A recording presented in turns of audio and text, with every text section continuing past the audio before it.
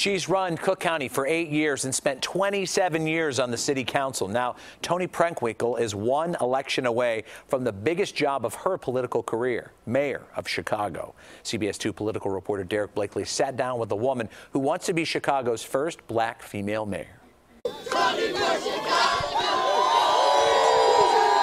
If Toni Preckwinkle is disappointed she finished second in round one of the mayoral race, she's not letting on. You know, I, am grateful to be in the runoff, and I'm grateful to all the good people who voted for me. Grateful after Preckwinkle was dragged down by revelations about ties to Alderman Ed Burke. Did the Ed Burke controversy cost you votes in the first round, and did it help Lori Lightfoot in the first round?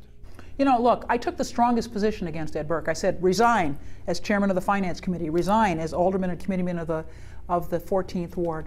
And, you know, I said, no one, no one should have outside employment who works for the city. And Preckwinkle's position as head of the Democratic Party also became problematic, offering unwavering support for former Cook County Assessor Joe Berrios, who packed his payroll with relatives while penalizing working class homeowners in assessments if you're going to be an elected official, you got to work with everybody.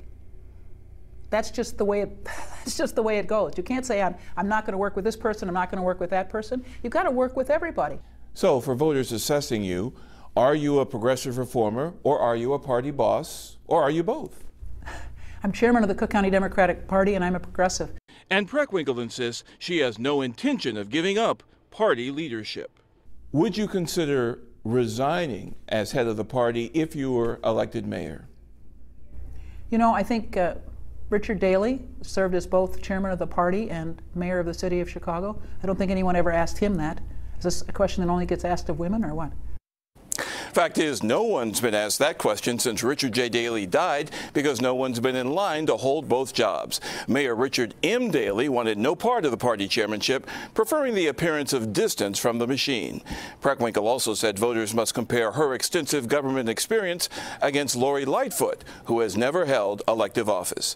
By the way, we are scheduled to do an in-depth interview with Lightfoot soon, and that's coming up to watch for. Reporting live in the newsroom, Derrick Blakley, CBS 2 News. Robin Erica. Wow, fascinating interview. Thank you, Derek.